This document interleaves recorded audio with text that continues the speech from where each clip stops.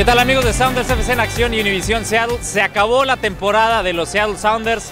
Hoy en un partido muy emocionante, muy complicado porque termina en penalties, pero al final los Seattle Sounders dieron una batalla, vinieron de atrás, iban perdiendo 2 a 1 en el marcador global, hacen un 2 a 1, se va tiempo extra, anota Portland, después anota el equipo de Seattle, una montaña rusa de emociones y en penalties al final no pudieron convertir. Will Bruin falló al poste y Osvaldo Alonso, el capitán, eh, no pudo convertir en el penalti. Y con esto se acaba una temporada que podría ser de ensueño. Un equipo que empezó muy mal, eh, era noveno en la tabla y después terminó con la mejor racha de la MLS.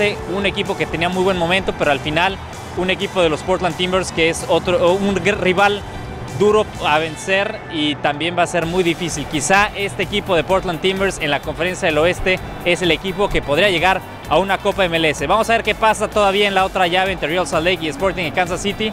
Pero con esto los Sounders se despiden de una buena temporada, pero desgraciadamente no se llega más adelante. Muchas gracias a todos por seguirnos en cada partido, en cada transmisión eh, de fútbol en vivo en Univision Seattle y también nuestra página de Facebook y regresaremos con más en el 2019. Soy Diego Arrioja, de parte de Gil Ojeda, director, productor, también Jaime Méndez, mi compañero, y John Kenny Hurtado. Le estaremos mucho más emociones el siguiente año.